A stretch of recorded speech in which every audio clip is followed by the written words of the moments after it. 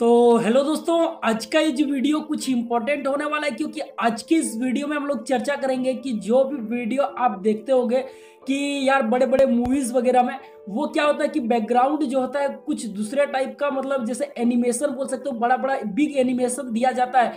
तो कैसे ऐड किया जाता है कि वाकई में क्या वो जो शूटिंग होती है बैकग्राउंड शूटिंग वो वाकई में रियल होती है या फिर फेक होती है? अदरवाइज़ बात की जाए कि जो शूटिंग होती है, वो उन्हीं जगह पर शूटिंग किया जाता है, जहाँ पर जहाँ पर बिगनर जो एनिमेशन होती है, वहीं पर शूटिंग होती है। आज की इस वीडियो में इसी के बारे में चर्चा करेंगे।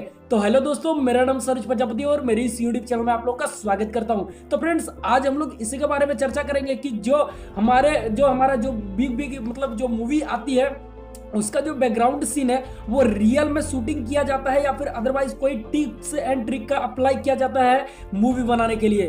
तो बने रहिए मेरे इस वीडियो के अंत तक और अगर आपने मेरे चैनल को सब्सक्राइब नहीं किया तो सब्सक्राइब करके बेल आइकन को प्रेस कर लेना, क्योंकि मैं इसे टैक्स से रिलेटेड अदरवाइज़ कोई भी इन्फॉर्मेशन टॉपिक से रिलेटेड वीडियोस को बनाता रहता हूँ आपके लिए। तो चलिए वीडियो को स्टार्ट करते हैं। तो देखिए फ्रेंड्स क्या होता है? एक तकनीक का इस्तेमाल किया जाता है, जिसे क्रोमा की बोला जाता है, ठीक है? क्रोमा की बोला जाता है, जिसके तहत कोई भी मूवी में देखे होंगे आप बाहुबली टू ले लो, या फिर बाहुबली ले लो, या फिर रोबोट टू पॉइंट ज़ीरो ले लो रोबोट ले लो, उसमें बड़ा बड़ा एनिमेशन दिया गया है। किसके कारण से दिया गया है? टेक्निकल सॉरी जो क्रोमा की है, उसके कारण से दिया गया है। तो देखिए फ्रेंड्स जो बड़ा बड़ा मूवी रहता है, उसमें क्या होता है कि आपको रियल लगेगा कि यहाँ पर, जहाँ पर मतलब शूटिंग हो रही है, वहाँ पर लगेगा कि ये जो एनिमेशन है, वहीं पर मौजूद है। लेकिन वाकई में ऐसा नहीं होता है, जो किसिंग सीन भी आप बोल सकते हो, जहाँ पर मतलब ज़्यादातर किसिंग सीन इसी से लिया जाता है क्रोमा की से।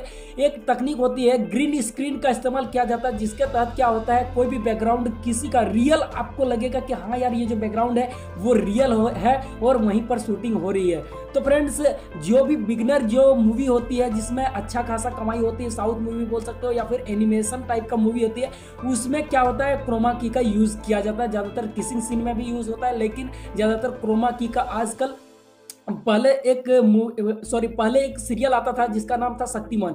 उसमें पहला बोल सकते हो, पहला जिसे एनिमेशन वाला सीरियल बोला जाता था, वो पहला टीवी शो था एनिमेशन वाला शक्तिमान। जिसमें मतलब शक्तिमान को एक, बोल सकते हो कि क्रोमा की का यूज़ किया जाता ग्रीन स्क्रीन के अंदर उसे रखा जाता था, शक्तिमान को मुकेश खन्ना को, और उसे उड़ाने टाइप का दिखाया जाता था कि इसको मतलब उड़ाया जाता है। तो वो क्रोमा की का यूज़ किया जाता था उसमें।